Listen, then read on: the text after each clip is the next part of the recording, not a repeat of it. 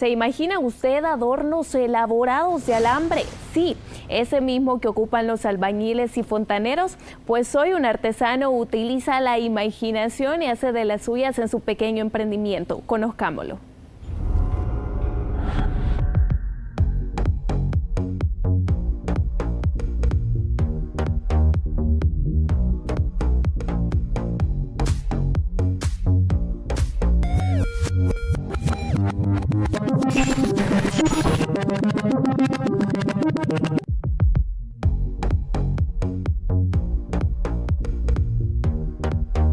Esto le llaman un gimnasio mental.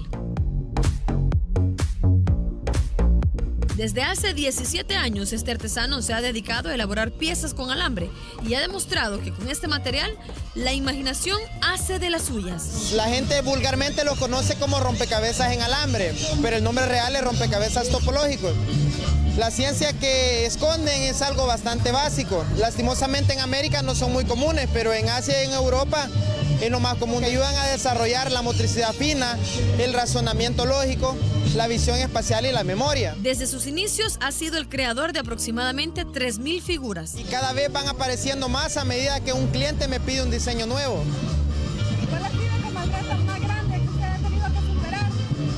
Bien, ah, han habido muchas figuras que han sido bastante difíciles de hacer, pero quizá la más difícil que he tenido que elaborar es un Don Quijote de la Mancha en tamaño real. Mi emprendimiento se divide en dos ramas, una rama estética y una rama didáctica. En el área didáctica, lo bonito de esto es que para empezar no son muy comunes, ¿verdad?